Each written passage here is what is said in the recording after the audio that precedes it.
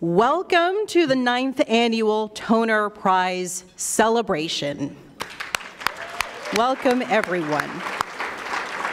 Now, I'm Lakshmi Singh, an anchor with NPR News here in Washington, and I've been given the honor of emceeing this event for you. Now, I just wanted to do a quick rundown of what can, we can expect uh, in the night ahead, and then I'll let you get to your awesome dinners.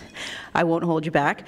Um, this event, program, and prize, as you all know, they honor the life and work of Robin Toner the first woman to serve as national political correspondent for the New York Times, and, of course, had a significant hand, as the New York Times wrote, in the coverage of a broad spectrum of historically pivotal political moments, including five presidential elections.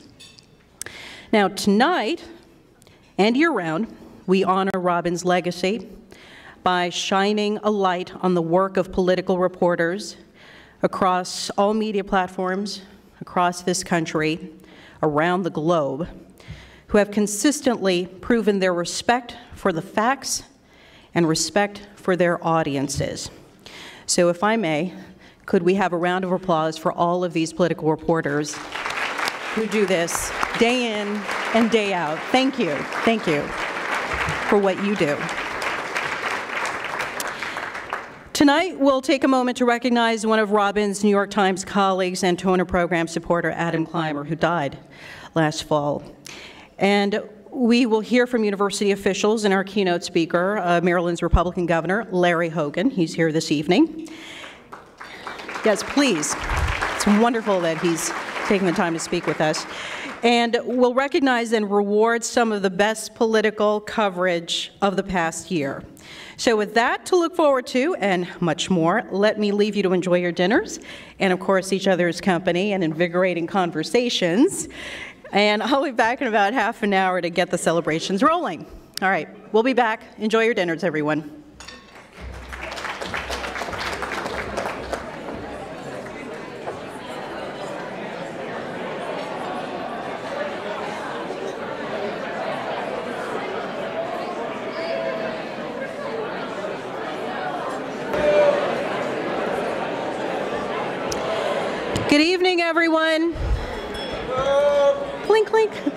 Good. I hope everyone's enjoying. Dinner's just coming in, the main entree, so um, just continue enjoying while he's, you know, speak and introduce a few folks, please. Um,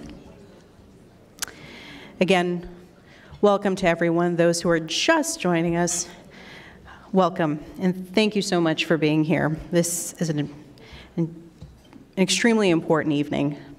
You all know um, we all have a vested interest in this celebration. Tonight's awards recipients are part of a proud tradition in journalism of not getting captured by the loudest voice, but looking behind it for the fallout for institutions and individuals, for the cronyism and self dealing it masks for plain and simple facts. It's the kind of journalism that's practiced by some of the Toner program's most important backers the New York Times, the Washington Post, the Los Angeles Times, Bloomberg, the Wall Street Journal, Politico, Stat, PBS, NPR. It's the kind encouraged by the program's institutional contributors, organizations such as the Knight Foundation, Amazon, Google, Goldman Sachs, Leverage, and the Walton Foundation, Walton Family Foundation. It's the kind that has long been supported by the Newhouse family, of course, and fostered at the Newhouse School of Public Communications by, among others, acting dean Amy Faulkner. Before arriving at Newhouse, Amy Faulkner spent a decade. Oh, okay. yes.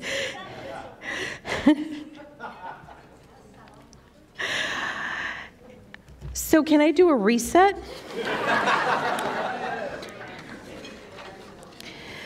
okay, I'd like to reset. And then maybe this could be edited. It's not going to be edited just because this is just too good.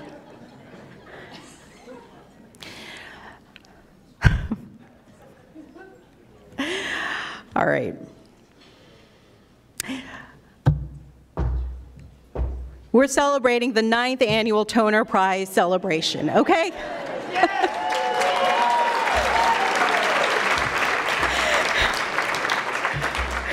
The Toner program was started nearly a decade ago to help keep alive the flame of fact-based political journalism in the face of an upheaval that has forced some organizations to shrink their ambitions and others to shutter their doors. But in the years since, another far greater threat to fact-based coverage emerged in all of this, partly born of the very technology that was supposed to connect us all, and that was the internet. Having been part of the telecommunications revolution, John Chappell and his Hawkeye investments could understand better than most what was happening. John was a friend of Robin's from college. After her death, he generously underwrote the launch of the Toner program and has supported it ever since. He's with us tonight. Thank you, John.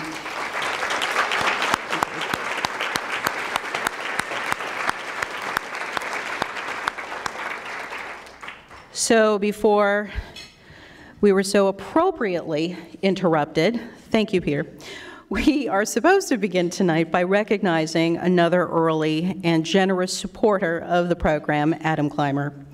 And here to speak about Adam is David Keene. Thank you.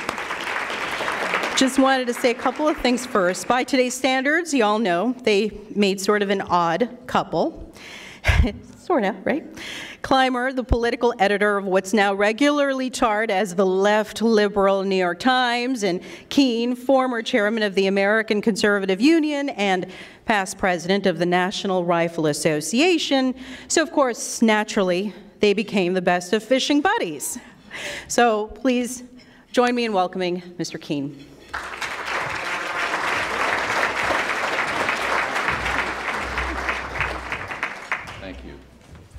Now, if any of uh, anybody in the audience today or this evening is doing a story in which would be negative on me, I'd like you too to forget me.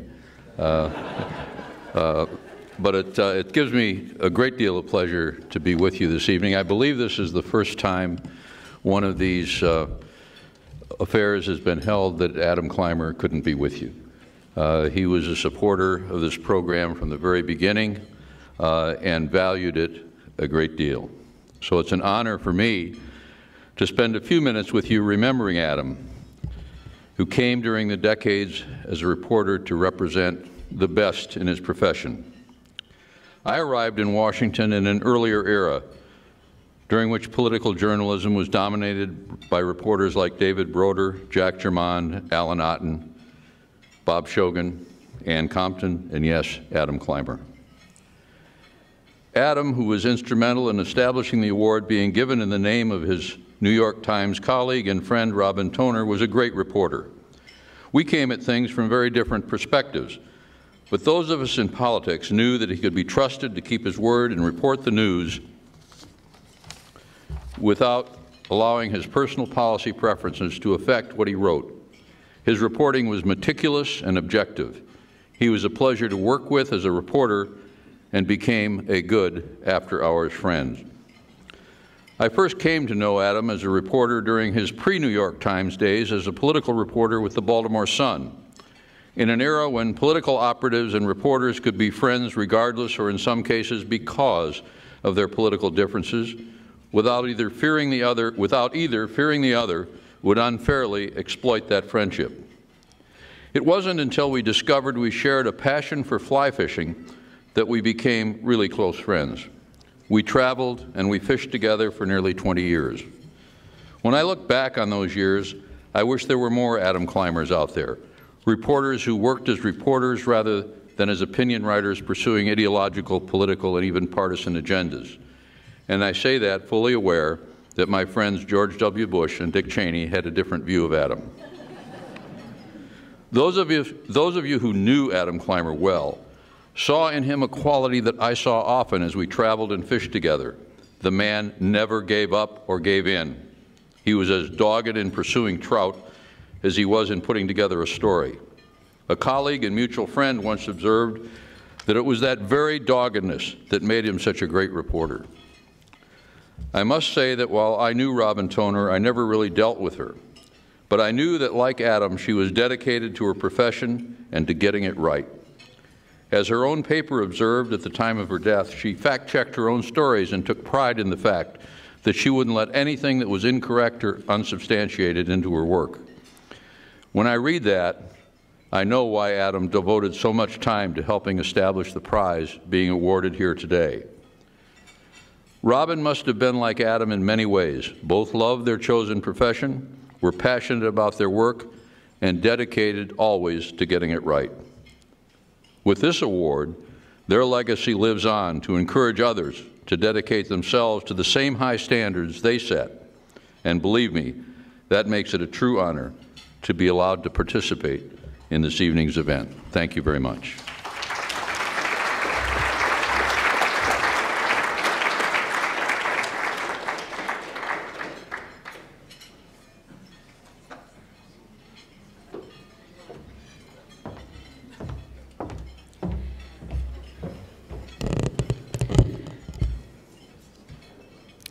Thank you, David. Thank you. So um, I've already said a little bit about Amy Faulkner, so I'm just going to keep going. Um, listen, the acting dean is a very good friend of mine, and she's a very good friend of a lot of people in this room, and there are numerous reasons. I mean, she worked, you know, before arriving at Newhouse, she you know, worked on both the editorial side and advertising. And I personally think that the most important title that she has held, she continues to hold, is that of a teacher. I think it's safe to say that most of us, if not all of us, have a deep appreciation for our teachers, and we carry that with us decades into the future. The roles with the simplest titles writer, reporter, editor, teacher, they often tell you the most about a person, and teacher perfectly fits Dean Faulkner. In fact, she was the first person in the history of Newhouse to be recognized as Teacher of the Year twice, so of course that's no easy feat, especially when you're also overseeing a faculty and a curriculum that includes experimental courses in virtual and augmented reality, which I wish I had that when I went to school. I'm an alumna of Syracuse. And drone journalism, social media listening, artificial intelligence, are you serious? Artificial intelligence, and data analytics, of course, which is a big part of what many of us do and, uh, and what we need uh, in our professions today, especially. Her teaching and her efforts to look toward the future with such new initiatives as the Center for the Future of Journalism and with Sister School Maxwell as a partner, a new Center for Democracy, Journalism, and Citizenship are what will help keep Newhouse and journalism vital. And they're ones that would have won the enthusiastic support, I am sure, of Robin Toner. So now, please join me, everyone, in welcoming Amy Faulkner.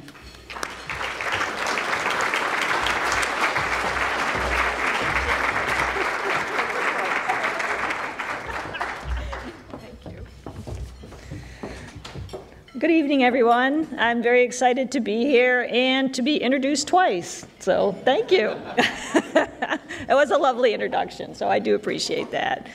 So, we are immensely proud of Lakshmi at the Newhouse School. She is one of the most recognizable voices on NPR, but before that, she was a broadcast journalism major at Newhouse. And she interned at our university licensed public radio station, WAER. I think that means you did most of the work, right? Yeah, exactly. So Newhouse alums speak very fondly of their time at WAER and our student-run newspaper, The Daily Orange. Often, our alums are driven people and become leaders in their field. Like another of our well-known graduates, Robin Toner, who shaped political coverage for the New York Times for almost a quarter century. And there are still more great Newhouse journalists on the way, including we have at least seven current undergraduates and some graduate students here tonight that our toner program in political reporting brings down each year as part of this event. I am pretty sure most of them are at table seven, but Newhouse students in the room, please stand up so we know where you are.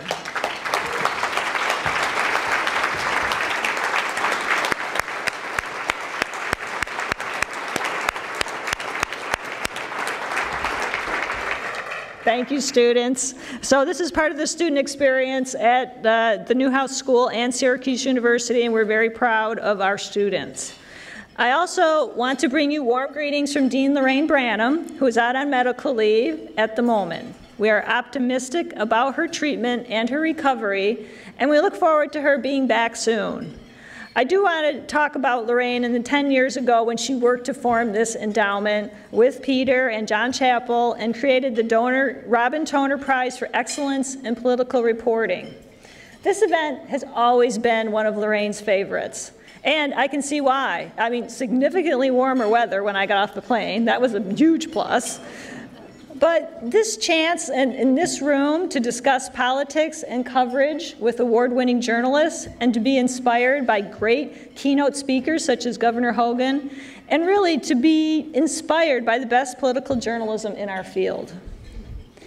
It is our hope at the Newhouse School that the Toner Prize and the light that it shines on political reporting acts like a beacon to nurture and guide our democracy now, more than ever, post Mueller report, this kind of reporting on politics is essential.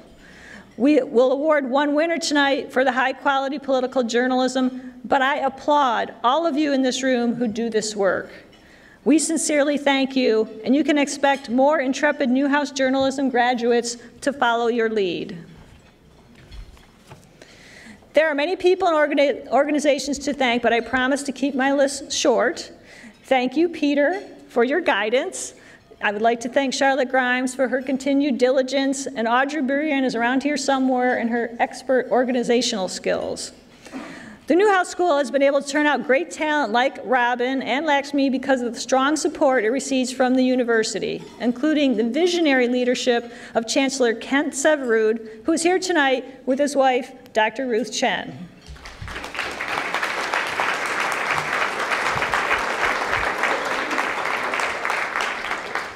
I feel very fortunate to work under the leadership team of the Chancellor and our Vice Chancellor and Provost, Michele Wheatly, who I have the honor of introducing tonight. Provost Wheatly is an internationally recognized scholar and educator. She has contributed substantially to her field as a professor of biology, publishing over 100 papers. Provost Wheatly came to Syracuse in 2016 from West Virginia University, where she demonstrated as the provost there the kind of leadership that embraces change, empowers research excellence, and enhances the student experience. Previously, she worked as Dean of Science and Math and was chair of biology at Wright State University in Ohio. With a global education and a research portfolio that includes continuous National Science Foundation funding totaling $25 million over 30 years, Provost Wheatly has an impressive academic record.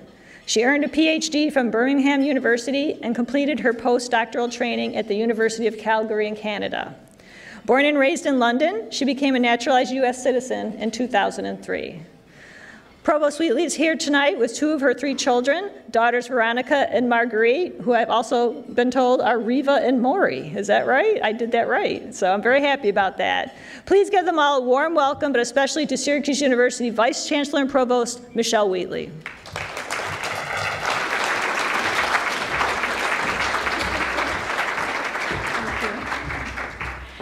Good evening, everybody.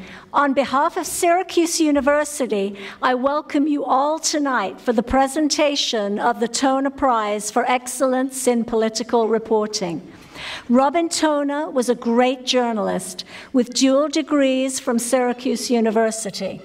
As a graduate of our SI Newhouse School of Public Communications and Maxwell School of Citizenship and Public Affairs, she saw how political reporting could serve the public good and be a powerful tool in strengthening communities.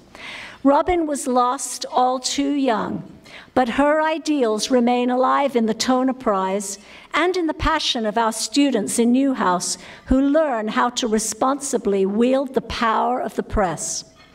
At Syracuse University, our vision is to prepare our students to become engaged citizens, scholars, and leaders in a rapidly changing global society. We're teaching them the value of open discourse and the increasing need for diligence to find and speak the truth. With Robin's well known passion for meticulous research and accuracy in reporting, we can only imagine how disheartened she would be with our leaders vilifying political reporters. What would have been her take on the effect of Twitter and the lack of civility in today's political discourse? Certainly, she would have supported the efforts by keynote speaker to encourage our leaders to be less divisive. Governor Larry Hogan of Maryland has been vocal about the need for national unity and searching for ideas and solutions that can reach a wider audience. Larry Hogan was sworn in as the 62nd governor of Maryland in 2015. He was overwhelmingly reelected last November, receiving the most votes of any Maryland gubernatorial candidate and becoming the second Republican governor to be reelected in the history of the state. Since taking office, office, Governor Hogan has been focused on Maryland's economy. The state has gained over 120,000 jobs and delivered $1.2 billion in tax, toll, and fee relief for families, retirees, and small business. In addition to tackling countless policy issues head on, Governor Hogan also faced a number of unexpected challenges with courage and candor. Just a few months into his first term, he was diagnosed with aggressive stage 3 non Hodgkin's lymphoma. On November the 16th, 2015, after undergoing 24 hour chemotherapy and multiple surgeries, he announced that he was 100% cancer free and in complete remission.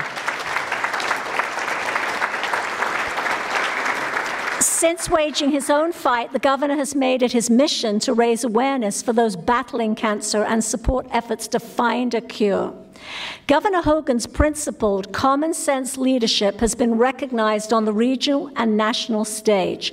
He serves as vice chair of the National Governors Association, chairman of the Regional Chesapeake Executive Council, and consistently has one of the highest job approval ratings in this country. Syracuse University, the SI Newhouse School of Public Communication, and the Toner Program take political discourse very seriously and praise Governor Larry Hogan's efforts. Syracuse University strives to be a place where all feel welcome to express their ideas, to interact in new ways, and to remove structural barriers to achieve full participation in our community. Governor Hogan, I promise that we will continue to do our part to prepare the next generation of journalists, citizens, and political leaders who will work alongside you to protect free press, free speech, and freedom of thought. Ladies and gentlemen, please join me in welcoming Governor Larry Hogan.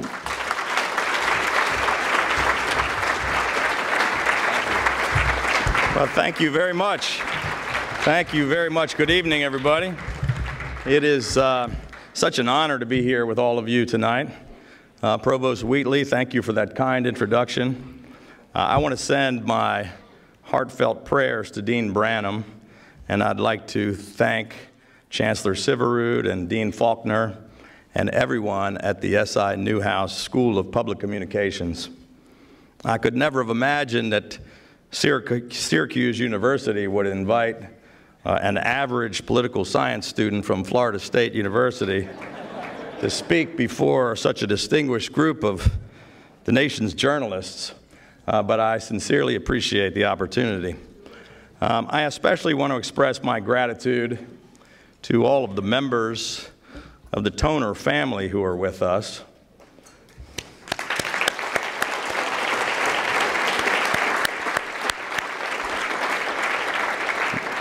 Got the opportunity to meet all of them backstage.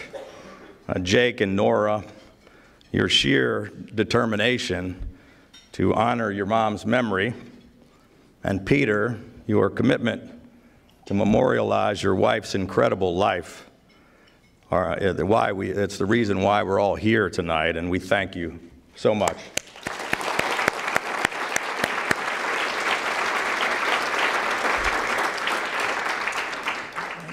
I know all too well what a family goes through while dealing with a loved one's battle with cancer. And as long as I am governor of Maryland, and long after that, I will continue to proudly stand with all of those who are fighting against this terrible disease.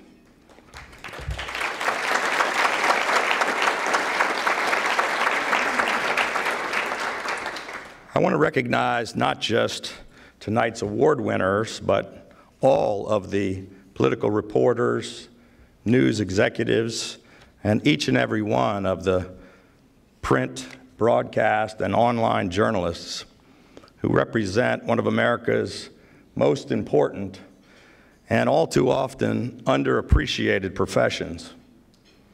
Since 2009, the Toner Prize has been awarded annually in recognition of the best national or local political reporting. This prestigious award is a lasting tribute to a woman whose life and career embodied the art and craft of journalism at its very best. Robin Toner appreciated the immense weight of the responsibility she bore as a journalist to keep the American people informed. During her nearly 25 years with the New York Times, as the first woman to hold the position of national political correspondent, she covered five presidential campaigns and countless gubernatorial, congressional, and other races with grace and a meticulous eye for detail. Like all reporters, Robin knew the high standard to which she would be held by all those she covered and by those who followed her reporting. And she held herself to those same high standards. To this day, Robin Toner leaves a legacy of smart, fair, and objective journalism, a legacy that each and every one of you attempts to carry on.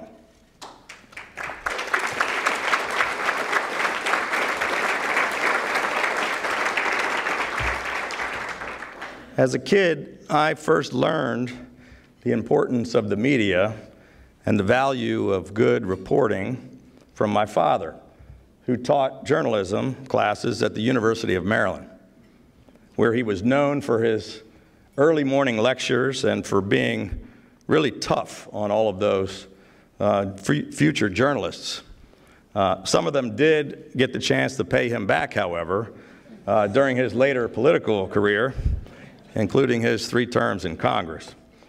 Uh, but one of uh, the most pivotal moments of his career also happened to be one of the most significant moments in the history of American journalism.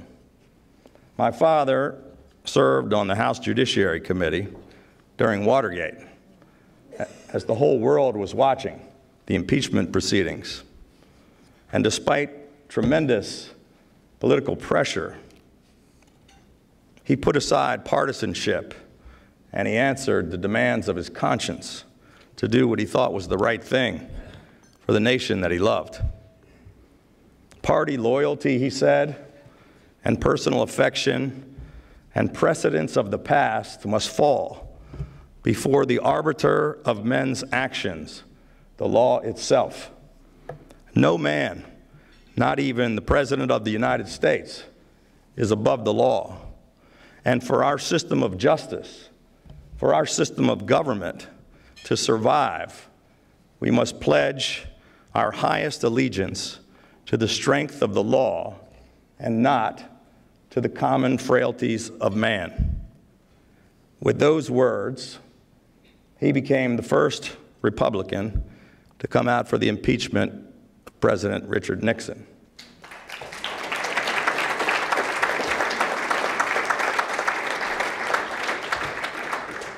Now, that decision cost him dearly. He lost friends and supporters and his party's nomination for governor that year. But it earned him something more valuable a quiet conscience and an honored place in history. I learned more about integrity in one day from him than most men learn in a lifetime. Those were uncertain times for our nation and certainly for members of the press. While other news organizations initially ignored the story, two young staffers, two young staff reporters at the Washington Post, Carl Bernstein and Bob Woodward, did what great journalists do. They put in the work, they followed the story, and they were relentless in their pursuit of the truth, even when their report, the reporting was repeatedly denounced by the White House as being biased and misleading. It has been and always will be the responsibility of our press corps to hold elected officials accountable and to ensure that those serving in our highest offices uphold the public trust and represent the in interests of the people whom they were elected to serve. At the same time, members of the media also have an obligation to uncover the truth and to deliver fair and accurate reporting, to tell the story and not become the story. There has not been a single day, good or bad, when I have not been grateful for the honor and the privilege of serving the people of Maryland as governor. During the past four years, I have enjoyed a very open, sometimes spirited, uh, but always collegial rapport with the members of Maryland's press corps, even when they occasionally get it wrong. like when the Baltimore Sun endorsed my opponent in 2014. Fortunately, they made the correction and got it right last year. But I know that this is a difficult and challenging time for your profession. Faith and confidence in the media is nearly as low as it is for elected officials. Welcome to the club. I've never been shy about speaking up when I thought that coverage was unfair or inaccurate. But I have always had the greatest respect for the journalists who bring honor to their profession and who day in and day out work hard to shine a light on the world around us so that we can all see with more clarity and with greater understanding. Our First Amendment and our democracy itself depends on a strong, vibrant, and unfettered free press.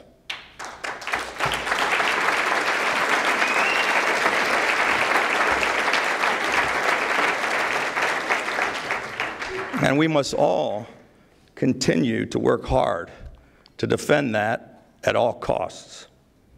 You may not always get it right, but you are not fake news. You are not the enemy of the people.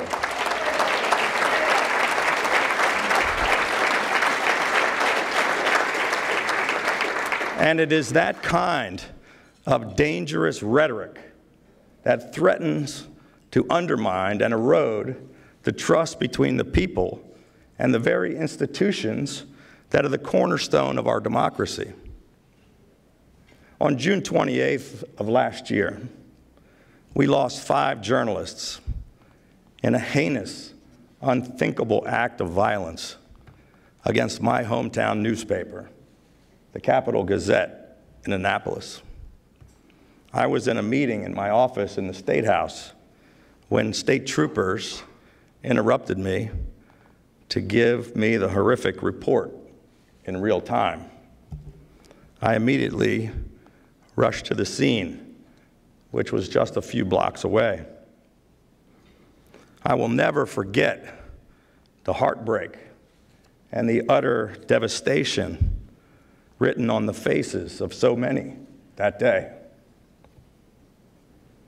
There is no amount of clarity that can ever explain or nullify the pain that comes with losing so many lives for so little reason. The lives and the legacies of Gerald Fishman, Robert Hiaasen, John McNamara, Rebecca Smith, and Wendy Winters will not ever be forgotten.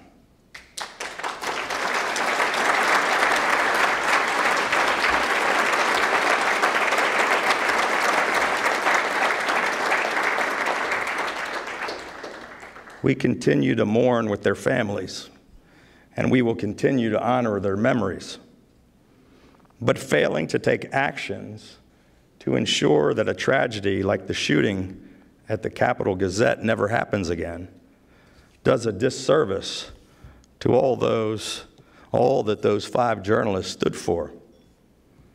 In the wake of hatred and senseless violence, we must come together to seek common sense solutions. Last year, I was proud to work in a bipartisan effort with the Maryland legislature to enact landmark red flag legislation to try and prevent another tragedy like this from ever happening again.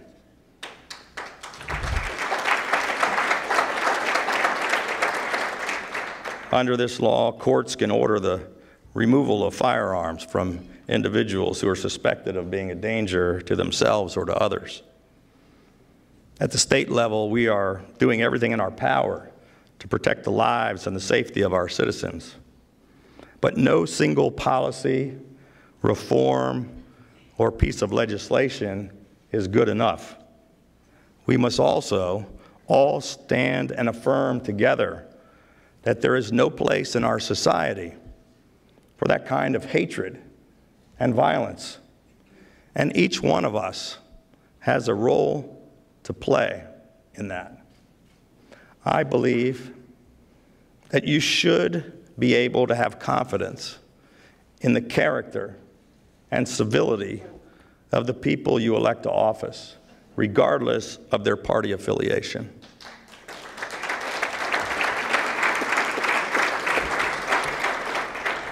Those of us blessed by your trust should give you a government that appreciates that no one of us has all the answers or all the power. A government that tolerates contrary views among a diverse citizenry without making them into enemies or doubting their patriotism.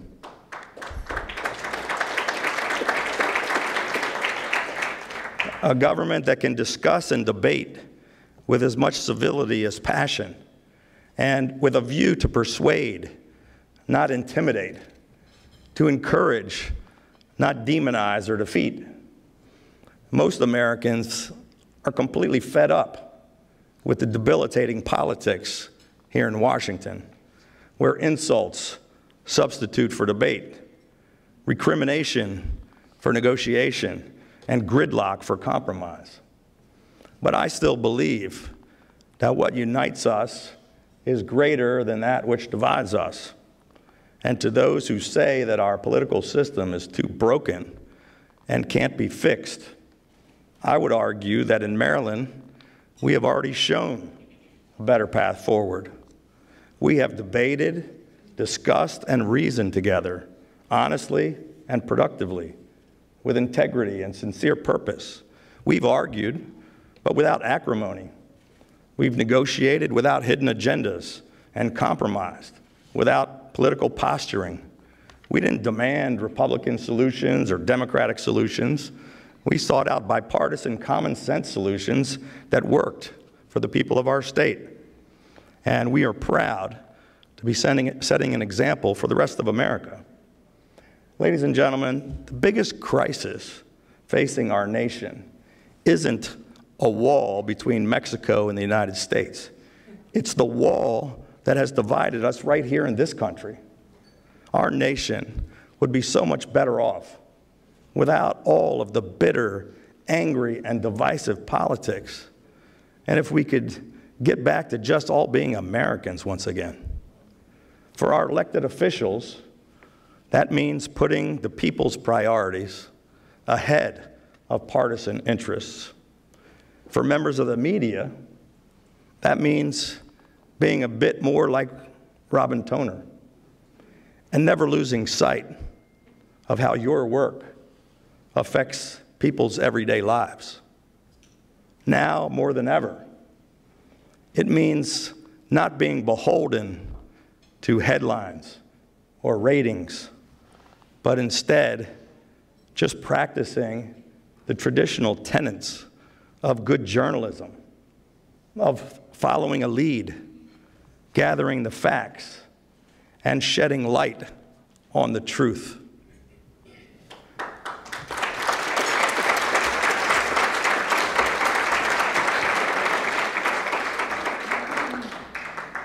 As I think back to that tragic day last June in Annapolis, the Capital Gazette office was a horrific crime scene. But just outside, amid all the chaos, there were Capital reporters with their laptops open. They were covering the story, the massacre of their colleagues. Late that night, the paper issued a one sentence tweet. It said, Yes, we're putting out a damn paper tomorrow.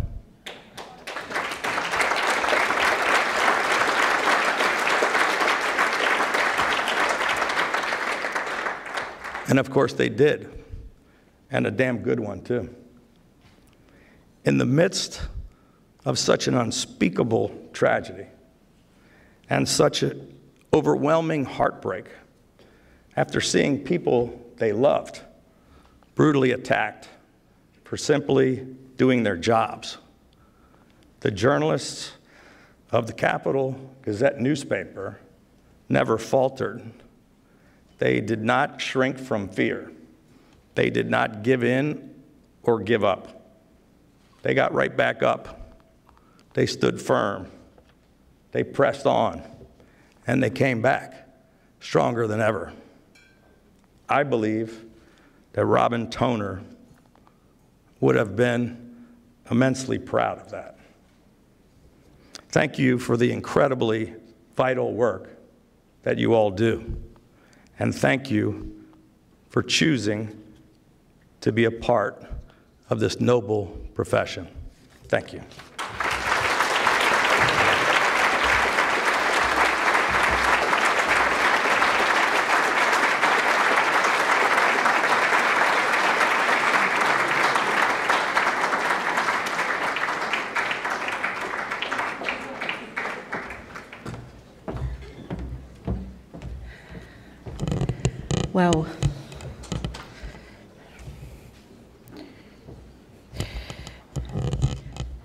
Thank you, Governor Hogan. A lot of headlines right there. some people tweeting, some people emailing. Thank you. So we now move to another very exciting moment of the evening.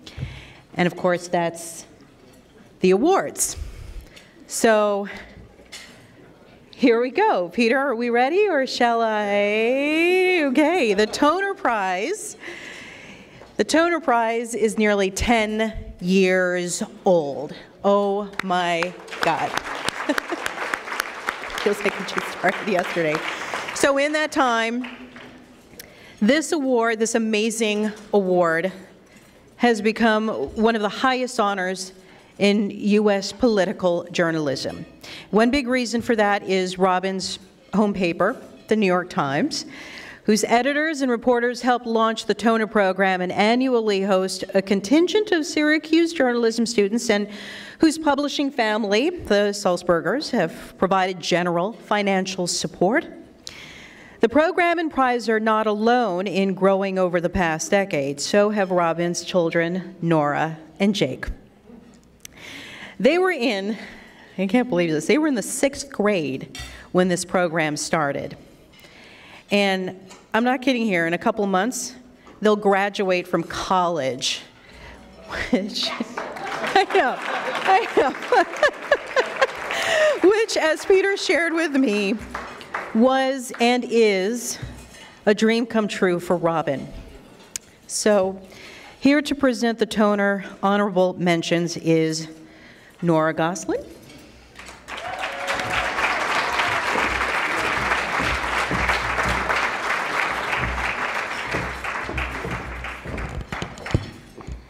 Good evening. This is Jake and my ninth year of doing this event. Many of you have watched us through high school, middle school, college, and now almost to our graduation. Maybe you were there the first time when we were both 12, weren't quite sure how to dress up for an event, and had no experience with public speaking. Now we're almost 22, preparing for our graduations, and who knows what comes next. This event has always been a sort of time capsule for Jake and I. It always brings up a lot of questions what telling the truth looks like in our society, what voices are heard and represented, what it means to continue someone's legacy, uh, as we become adults. I thought that now, after nine years of this event, answers might become a little clearer. That hasn't been the case. If anything, those questions about telling the truth, about making sure people are heard, about living with someone's absence, have only become murkier as Jake and I set out into the world. I take heart, though, in coming back to this event, to you all, and seeing what excellence really looks like and what it takes.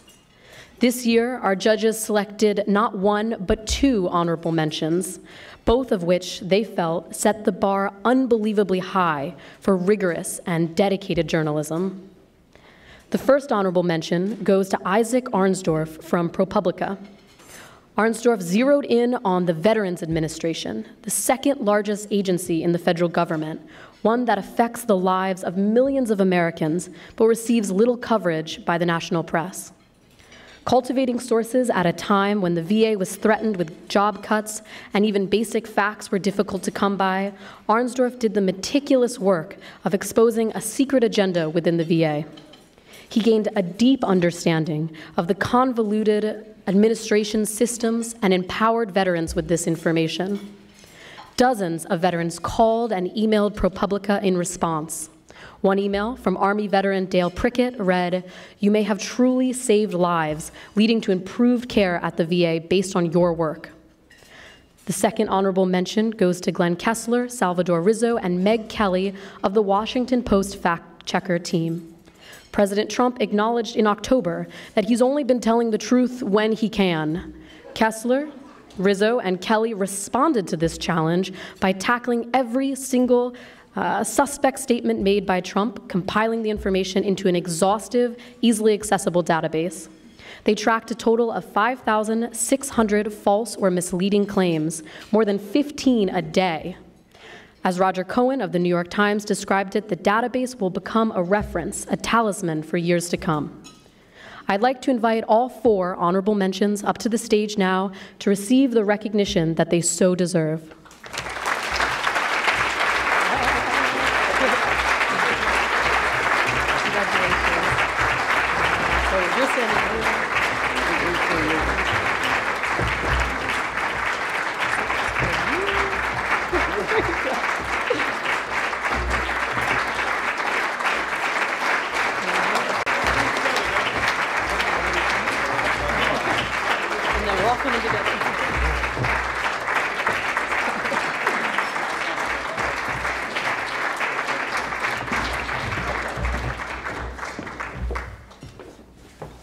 So I just want to thank the judges, the officers of Syracuse University, uh, of course, Robin's family, and an unexpected thank you to someone who is at my table um, and who probably doesn't even remember, but she helped me get my very first job in journalism. That's Lucy Dalglish.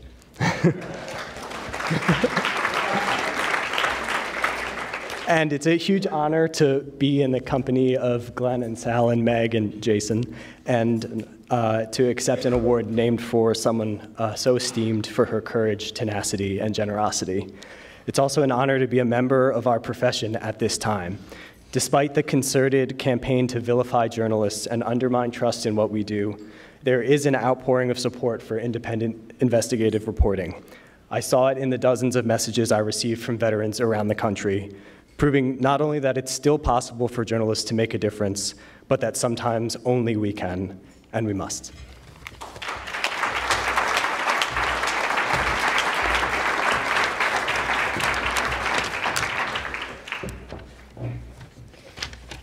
Thank you, Nora, and thank you to Syracuse University uh, Newhouse School for this honor. Unlike many in this room, I did not cross paths much with Robin, except as a reader who greatly admired her work. In the decade before her passing, I covered diplomacy, where I tried hard to get information out of her brother Mark at the State Department. And when I arrived in Washington 25 years ago, I covered economics and certainly got to know Peter on that beat. Without a doubt, Robin's byline was one of the gold standards in journalism. She always managed to keep her articles grounded in policy, a difficult task when it's much easier for politics reporters to highlight conflict and skate past the issues. At the Fact Checker, we try to live up to Robin's example. We evaluate the accuracy of political statements, but at heart, it's an effort to unravel and explain complex policy issues to readers. The goal is if you are a regular reader of our 300 or so fact checks a year and view our videos, you will have a better understanding of the policy choices being debated in Washington. Now, President Trump posed a unique challenge because, frankly, he doesn't seem to care much about policy nuances. We created our database of his false and misleading statements largely because too many of his statements could be fact checked in a few sentences. That way, we could keep the regular column focused on policy. Little did we know it would become such an all-consuming task. When Trump soon hits 10,000 claims in about a month or so, I estimate it will have required 2,500 hours of work. On average, each entry requires about 15 minutes to identify, categorize, and write. So to put it another way, that's more than 108 hour days for each of us standing here, many weekends and late nights, on top of our regular day jobs. Now, Michelle Lee, uh, my on the fact checker at the time, originally suggested the idea of the database for the first 100 days. When she moved on to another job at the Post, Trump was only at 1,300 claims. So thanks, Michelle. now, the Washington Post gives us enormous independence to choose the topics we write about and determine how many Pinocchios to award to politicians. I'm grateful for the trust they have shown in our judgment. But our editors have also been a source of ideas in the past year, which is reflected in the package that made up our entry. Executive Marty Baron and I had a morning conversation in which he suggested it was time to say that we should document, that we could document, that Trump had knowingly told a lie. National editor Steven Ginsberg suggested we create a new category for repeated falsehoods by politicians, the bottomless Pinocchio. He, he, so far only one politician has earned that. Uh, he has also suggested we catalog every factual statement made by a president in a, in a campaign rally as either true or false, and that article was written by Sal and Meg as I tried to offer feedback via funky Wi-Fi connection while on vacation in Tahiti. Now, since this is a team entry, we will thank family and colleagues in person. I would like to close with thanks to our readers. We have the best readers in journalism. Many of our fact checks come from reader suggestions, our readers provide a constant stream of feedback, advice, and criticism that keeps us on our toes and encourages us to do better as we strive to meet the standards set by Robin. Thank you.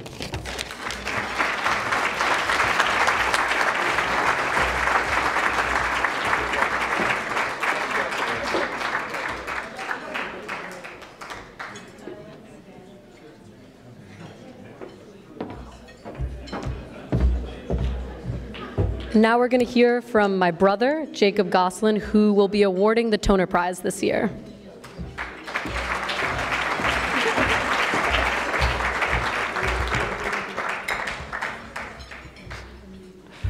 The winner of this year's Toner Prize is, in the words of one of our judges, a master storyteller.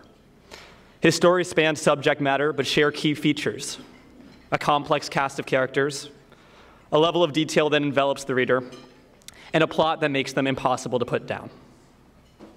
Of his great submissions, two stood out. The first is a profile for the New York Times Magazine on Devin Nunes, the 44 year old congressman whose tenure as chair of the House Intelligence Committee turned the institution upside down. Like any good profile, the piece begins long before Nunes ever made headlines and tracks how his life molded him into the man of the moment in 2017. In telling the story of Nunes, our winner also tells the story of a Congress increasingly consumed by paranoia, division, and distrust. The second is an in depth look at how the Trump administration has reshaped the courts. Again, this story begins before Trump with the Federalist Society, a powerful legal group of conservative jurists that spanned decades. It follows their unlikely alliance with the Trump administration, an alliance that has, in the word of one Federalist Society member, made our wildest dreams come true. What sets these stories apart isn't just their authors' masterful writing and reporting, it's their content. As our winner remarked in his entry, it's almost impossible to write pieces about politics in 2018 without writing about President Trump. But these pieces aren't focused on the man or on the constant chaos of his White House. They're focused on the fallout from it, the trickle down effect his, pres- his presidency has had on institutions that are at the foundation of our republic. These effects will linger long after the president's term is served, and that makes these stories all the more important to tell. It is an honor to present this year's Toner Prize to Jason Zengerle.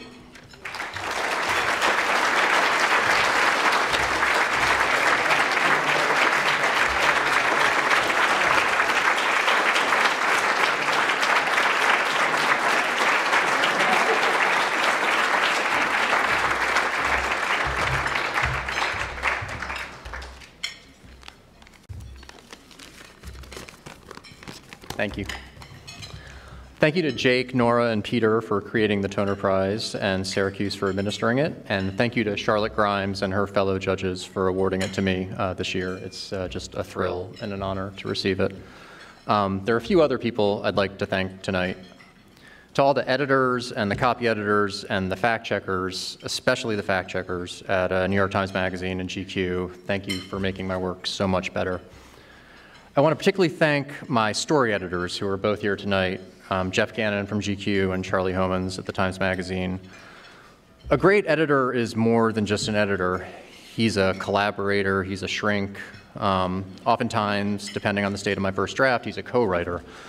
Uh, Jeff and Charlie are all of those things, and I feel like this award is as much theirs as it is mine, so thanks.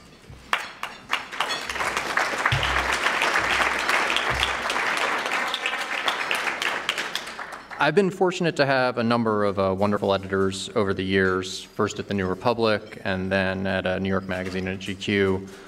They're people who've taught me so much about what it means to be a good journalist, and I wanted to thank them in a public way while I have the opportunity.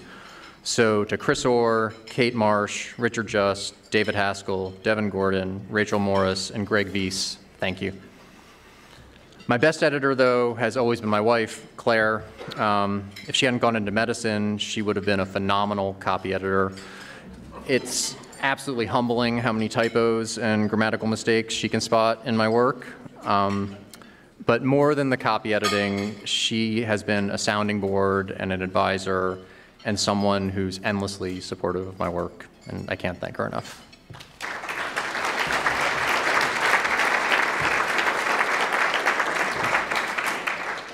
Our two kids, Asa and Georgia, um, are here tonight. They're spending the first day of their spring break from school with their dad at work. A year ago at this time, they were at Disney World.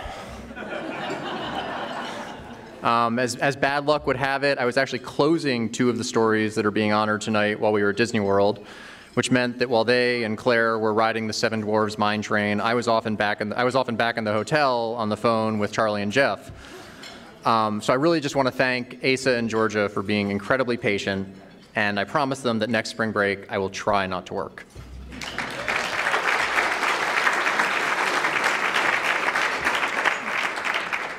And lastly, I want to thank my parents, uh, Joe and Linda, who are also here. Uh, they have, there are a lot of things I should thank them for, but tonight I want to thank them for subscribing to two newspapers when I was a kid. I started flipping through the Washington Post sports section before I could even read, and it was the first thing I'd reach for every morning before breakfast throughout my childhood. But then, when I was about 13 years old, I put the sports page aside and I started reading the New York Times front section first. I was fascinated by the 1988 presidential campaign, and I was especially fascinated by Michael Dukakis. Among American junior high school students, I had to be one of, and if I'm being honest, probably the only Mike Dukakis superfan.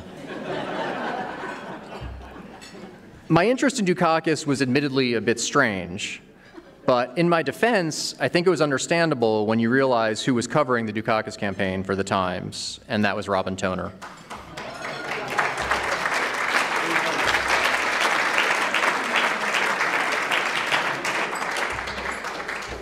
She had a gift for making even a politician like Dukakis a fascinating figure. I never met Robin, um, but after being introduced to her work in 1988, I always looked for her byline, both before and after I became a journalist. And her work has long stood as a model of what political reporting can and should be. She wrote not just about politics, but about policy and about their intersection. And she understood both the importance and the stakes of what she was covering and she had the talent and the tenacity to make her readers understand them too.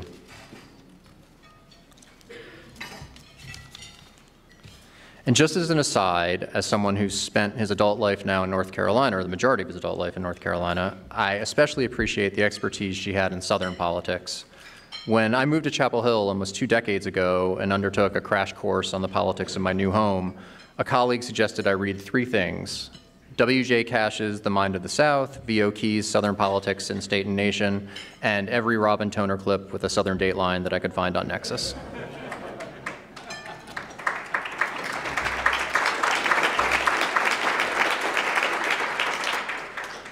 In some ways, the challenges Robin faced more than 30 years ago in writing about Mike Dukakis are the opposite of the challenges political reporters face today. No one ever accused, ever accused Donald Trump of being boring. The public's appetite for news about the president's personal foibles and palace intrigue at the White House has been a boon to the cable news networks and national newspapers and magazines. While the journalism industry is in crisis across the country, the Associated Press recently reported that more than 1,400 towns and cities in the U.S. have lost a newspaper over the past 15 years, and state capitol press rooms have become ghost towns. Here in Washington, the political reporting business is booming. It would, of course, be nice to spread around some of those journalistic resources, but on the whole, the public's interest in Washington and the Trump administration is a good thing. And I am in awe of and I'm often daunted by the remarkable work that so many political reporters are doing right now in covering this administration. And yet, I do worry that we sometimes get so caught up in the daily soap opera of American politics, whether it's what's going on in the White House or now what's beginning to happen on the campaign trail, that we can lose sight of the profound and far reaching consequences of this dramatic, dramatic political moment. The work that's being honored here tonight, whether it's Isaac's reporting on the unlikely intersection of the Mar-a-Lago crowd and the VA healthcare system, or the Post's indefatigable fact-checker team, or even some of my stories on the implosion of the House Intelligence Committee or the Trump administration's remaking of the federal courts, I think are good examples of political reporting that both acknowledges some of the entertaining absurdities of this particular political moment, while at the same time focuses on the downstream effects of the Trump presidency that will be with us long after this moment passes.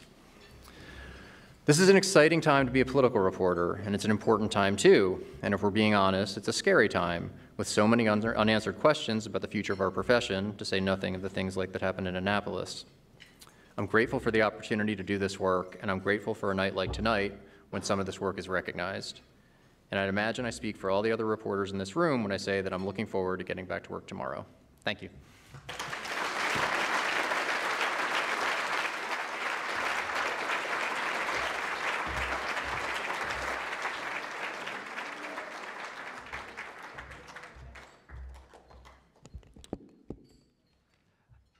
Wrap up, a few more thanks are in order. Uh, first, thank you to Charlotte, Luke, and Audrey for all they do to make this night possible. And for keeping my dad sane. Uh, thank you to the Walton Family Foundation and Walton Family Advisor Kiki McLean, who have been quiet but critical supporters.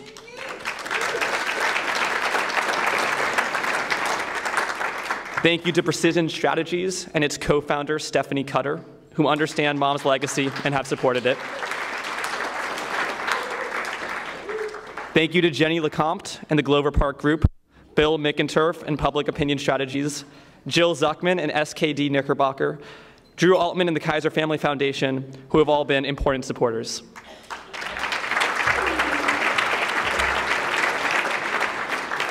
Again, thank you to John Chappell for all he does to make these nights possible. And thank you to the governor for his political bravery and his kindness in coming here tonight.